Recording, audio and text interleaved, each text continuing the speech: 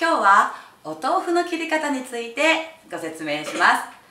お豆腐はまな板で切ると簡単なんだけど子供はママと同じことをしたがります。ななちゃん今日はママとママみたいに手のひらで切ってみようか。じゃあななちゃんの手を左手ちょっと見せてくれる？子供の手は大人の手と比べて小さいです。これ1個そのまま切ることはできません。なのでお豆腐を手のひらに合わせて切ってあげます。ななちゃん手危ないから気をつけててね。ななちゃんの手はこれぐらいかな。じゃあななちゃん左手を出してくれるかな。よしぴったり。じゃあお豆腐を切ってみましょう。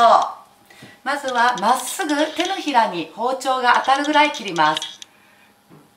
当たった？じゃあそれを上げます。手切れてる？切れてないよね。じゃあもう一回やってみよ